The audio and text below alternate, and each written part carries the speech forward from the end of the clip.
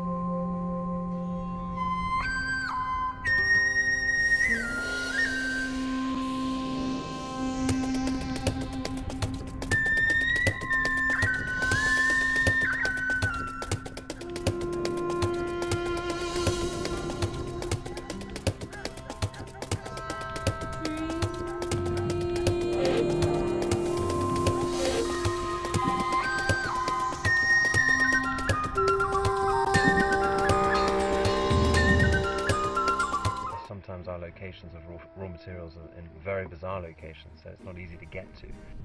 Today we're in Marlborough, New Zealand.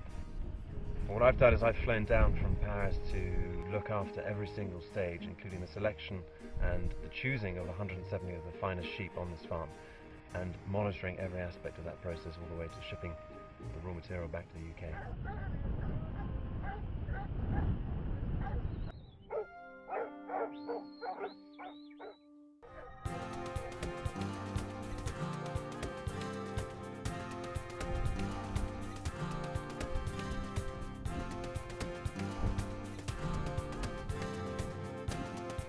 We've done a lot of research and development and technology in regards to genetics, how we drive those genetics, fully sustainable here, uh, animal health.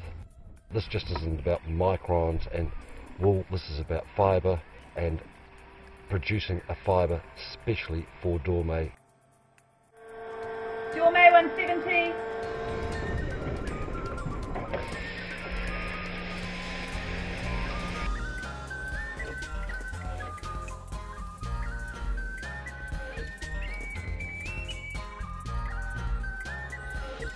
Today traceability is very important because there are a lot of factors in the processing of cloth and we need to be able to show our customers that we have a hands-on approach to every single aspect of that fabrication.